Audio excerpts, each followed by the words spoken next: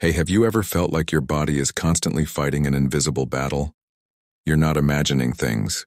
It's called chronic inflammation, and it's like a slow burning fire inside you, linked to almost every major chronic disease we face today heart disease, diabetes, Alzheimer's, and even some cancers. It's the silent enemy.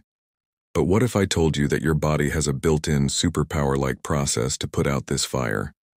It's called autophagy. Sounds complicated, right? But it's actually pretty simple. Think of it as your body's ultimate spring cleaning and recycling program. The word autophagy literally means self eating. Your cells are constantly identifying old, damaged, or dysfunctional parts, like misfolded proteins, worn out mitochondria, and even invading pathogens. Instead of letting this junk pile up and cause chaos, which leads to that dangerous inflammation, your cells gobble it up. So, how does this work? Imagine your cell is a busy kitchen. After cooking a big meal, there are leftover scraps, dirty dishes, and smoke in the air. Autophagy is the cleanup crew that comes in, washes the dishes, throws out the trash, and even takes some of the scraps to the compost bin to create new, healthy soil. In your body, autophagy breaks down the cellular junk into basic building blocks like amino acids and recycles them to build new, healthy cell parts. It's genius. It's the ultimate sustainable living, but on a cellular level. This process is crucial for keeping inflammation in check.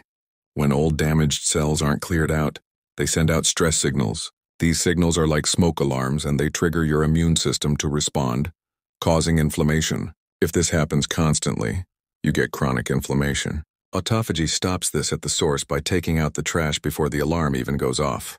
The amazing thing is, you can actually turn up the dial on your own autophagy. You don't need a fancy supplement or a weird gadget.